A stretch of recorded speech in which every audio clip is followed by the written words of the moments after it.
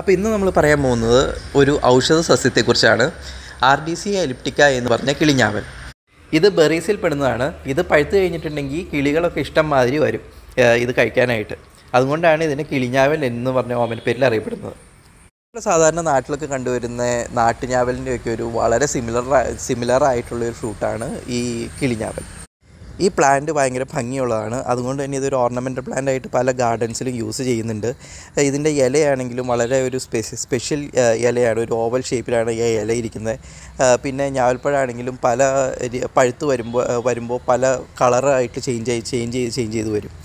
അപ്പോൾ ഇതിന്റെ ഒരു native Malaysia Indonesia Sri Lanka India New Guinea എന്നീ രാജ്യങ്ങളിലാണ്. പിന്നെ commonly shoe button Ardisia duck's eye coral berry ഇങ്ങനെയുള്ള പേരുകളിലും ഇത് അറിയപ്പെടുന്നുണ്ട്. പിന്നെ ഇതിനൊരു സ്പെഷ്യൽ പേരുണ്ട് ഇങ്ക് ബെറി അതായത് നമ്മുടെ കയ്യിലൊക്കെ നല്ല ഡാർക്ക് പർപ്പിൾ സ്റ്റെയിൻസ് വരുന്നതുകൊണ്ടാണ് ഇതിനെ ഇങ്ക് ബെറി എന്ന് വിളിക്കുന്നത്. അപ്പോൾ നമ്മളിത് ആദ്യം തന്നെ പറഞ്ഞു ഇതൊരു മെഡിസിനൽ പ്ലാന്റ് ആണെന്ന്. അപ്പോൾ നമുക്ക് ഇതിന്റെ മെഡിസിനൽ പ്രോപ്പർട്ടീസ് എന്തൊക്കെയാണെന്ന് ഇനി നോക്കാം. ഈ ഫ്രൂട്ടിലുള്ള ഫൈറ്റ് ഫൈറ്റോ കോൺസ്റ്റുവൻസ് അതായത് benzoquinone rapanone terpenoids phenolic compounds ഇതൊക്കെ നമുക്ക് ആന്റി പ്ലേറ്റ്ലെറ്റ് ആന്റി ബാക്ടീരിയൽ എഫക്ട്സിനൊക്കെ നല്ലതാണ്.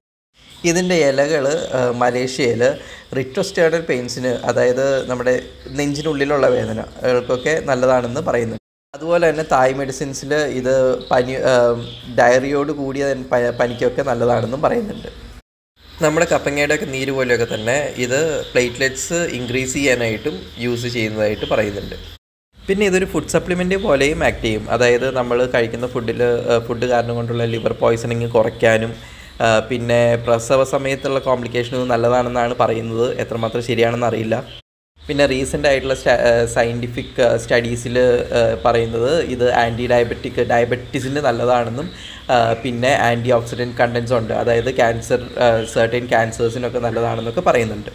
അപ്പോൾ ഇതിന്റെ ഇനി ടേസ്റ്റ് വൈസ് എങ്ങനെയുണ്ടെന്ന് നോക്കാം. അപ്പോൾ ഈ കൊല എടുത്തതിന്റെ അകത്ത് ഏറ്റവും നല്ല പഴുത്തത് അതായത് ബ്ലാക്ക് കളറിലുള്ളതുണ്ട് പിന്നെ ഒരു മീഡിയം പഴുത്തതുണ്ട്. അതായത് ഒരു പിങ്ക് കളറിലുള്ളതുണ്ട് പിന്നെ തീരെ മൂക്കാത്ത കുറച്ചെണ്ണം ഉണ്ട് അപ്പോൾ ബ്ലാക്കിനൊരു പ്രോപ്പർ ഞാവൽപ്പഴത്തിന്റെ അതിനൊക്കെ ഒരു ടേസ്റ്റാണ് പക്ഷേ സൈസ് വളരെ ചെറുതാണ്. അതിനുള്ളിലുള്ള കുരു വളരെ വലുതുമാണ്. ആ ഇതിന്റെ സൈസ് കമ്പയർ ചെയ്ത് നോക്കുമ്പോൾ ഫ്ലഷ് വളരെ കുറവാണ് ഇതിന്റെ അകത്ത്.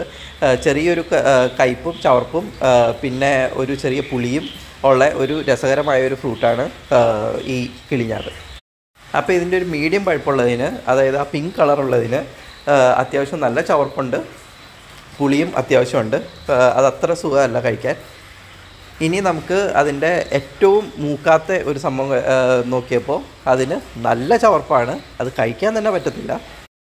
അപ്പോൾ എല്ലാവരും ഇത് കിട്ടുകയാണെങ്കിൽ നല്ല പഴുത്ത് നോക്കിയിട്ട് കഴിക്കുക. നല്ല ഹെൽത്ത് ബെനിഫിറ്റ്സ് ഉണ്ട്.